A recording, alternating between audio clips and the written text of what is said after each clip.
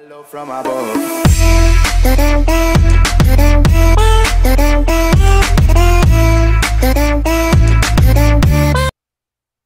Hello guys, welcome back to Android Tutor. In this video I'll be showing you how to improve download speed in your Steam. So as you can see I'm getting such a low download speed of um, almost 300 KB per second or something. So now we'll fix this. The first thing you're gonna do is click on pause and minimize Steam. Open one.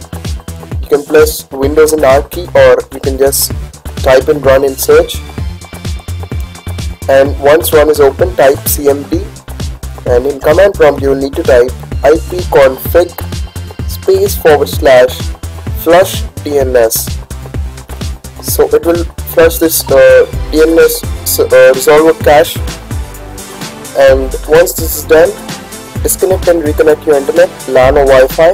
So I'm on Wi-Fi. I'll disconnect Wi-Fi network and I'll hit connect automatically and hit connect.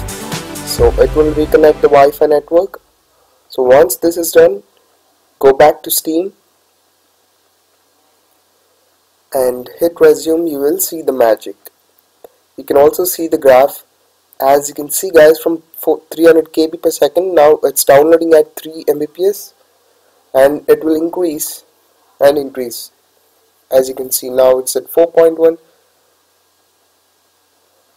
so thank you guys for watching my video. Please do leave a like and subscribe to my channel. This is Pavan Kumar from Android Trio signing off.